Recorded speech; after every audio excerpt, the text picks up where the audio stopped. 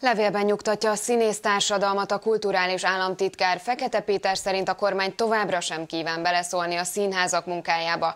A finanszírozás pedig megoldott. Jordán Tamás híradónknak azt mondta, a levél olyan mértékben eltér a korábban kiszivárgott információktól, hogy csak erős fantáziával tudják elhinni, hogy minden az ígéretek szerint alakul. A Gotthard féle zaklató színházak követelik a pénzt a kormánytól. Így írt Kocsis Máté, miután kiderült, hogy a kulturális életet érintő törvénymódosítás szavazhat meg a parlament. Kedden erre utalt vissza Csárdi Antal, amikor azt kérdezte Orbán Viktortól, mit szól Kocsis kijelentéséhez, amivel szerint az egész magyar színházi életet megsértette. Bodrogi Gyulától Molnár Piroskáig. Hogyha a magyar színészekről van szó, akkor szeretnék a legnagyobb elismerés hangján beszélni. És ha már Bodrogi Gyulát említette, akkor azt kell mondanom, hogy meghallgattam az ön kérdését, és süsű jutott az eszembe.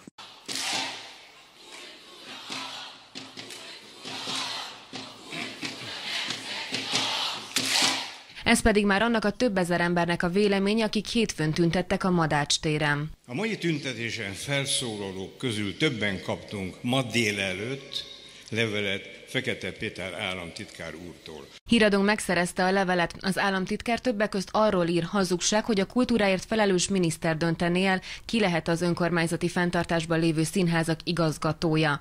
A kormány növelni az előadó művészeti alkotók és alkotóközösségek támogatását. A független színházak működésére és produkcióira biztosított a költségvetési forrás, és az eddigi pályázati rendszeren keresztül változatlanul elérhető számukra.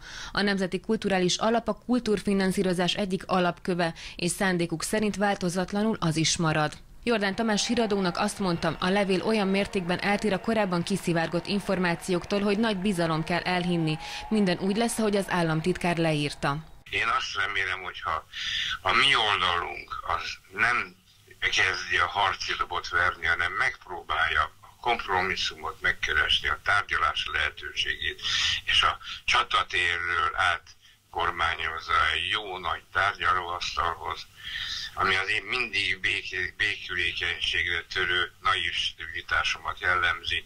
Én azt remélem, hogy el lehet jutni odáig, hogy okos emberek hosszasan, megfontoltan, felelősség teljesen döntsenek és mondjanak véleményt, és akkor nem lesznek ügyek. Ez a levél az első kapcsolatfelvétel a színházakkal. Ezt már Kovács Adél mondta és hozzátette. Úgy tudják, a Magyar Művészeti Akadémiával egyeztettek, de ők sem értettek egyet a törvénytervezet első változatával. Csodálatos lenne, ha nem fogadnák el, és a továbbiakban megint volna a széleskörű szakmai egyeztetés, mert akármilyen formában is fog ez most kijönni, illetve hát ebben a formában, amit ugye most már közé tettek, ez akkor is széleskörű szakmai egyeztetés nélkül jön ki.